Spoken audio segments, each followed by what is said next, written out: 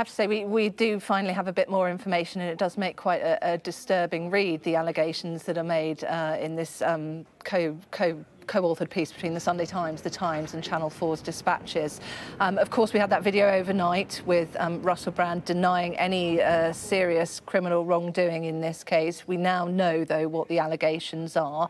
Uh, they relate to a seven-year period that took place during the height of Russell Brand's fame, so within the period of 2006 to 2013. Four women have alleged sexual assaults and, in one case, rape. Um, this was a time when, at one stage, he, he was presenting for BBC Radio 2. Also, uh, before that, he was presenting for uh, Channel 4's uh, Big Brother's Big Mouth. Now, one woman, woman alleges that Brand raped her uh, over in Los Angeles uh, later on during this period um, when he was working in Hollywood as a, a film actor. He's, she alleges that Brand raped her uh, against a wall in his Los Angeles home. Uh, a second woman uh, relating to a case in the UK alleges that Brand assaulted her when he was 31 and she was 16 and still at school. Uh, she details uh, a couple of occasions, one of which where he sent a driver to pick her up and she says he referred to her as the child recommended she, she read the book Lolita, and she says he was emotionally abusive and controlling during the relationship that they had, which lasted for about three months. Now, a third woman claims that he sexually assaulted her while she worked with him in Los Angeles, and the fourth woman that has been willing to go on the record. All of these women uh, have wanted to, to protect their anonymity in this, though, but the fourth woman has described being sexually assaulted by Brand uh, and him being physically and, and emotionally abusive towards her during a relationship that we had.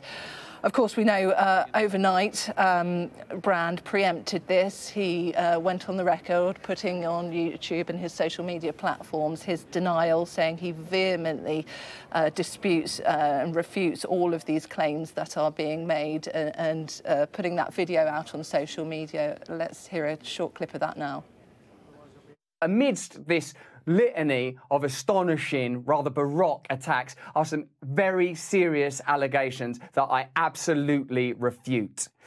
These allegations pertain to the time when I was working in the mainstream, when I was in the newspapers all the time, when I was in the movies. And as I've written about extensively in my books, I was very, very promiscuous. Now, during that time of promiscuity, the relationships I had were absolutely always consensual that not only does this really open up the fact that um, Russell Brand uh, clearly will have to answer many of these allegations and, and we will expect, we, we, certainly know that tonight he is um, performing a, a, comedy gig in Wembley, so it's going to be interesting to see whether or not that goes ahead. But this also opens up really a whole can of worms for the BBC and Channel 4 as well.